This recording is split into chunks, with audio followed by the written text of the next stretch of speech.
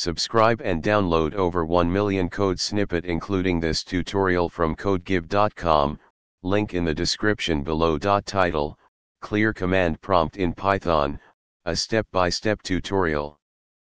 Introduction Clearing the command prompt screen in Python can be useful to provide a clean and organized interface for your command line applications.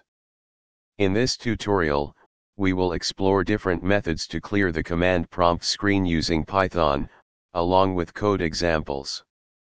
Method 1, using the OS module. The OS module in Python provides a simple way to interact with the operating system. We can use the system function from the OS module to execute system commands, including the one that clears the screen.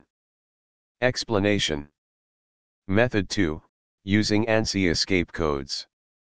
On Unix-like systems, you can use ANSI escape codes to control various aspects of the terminal, including clearing the screen.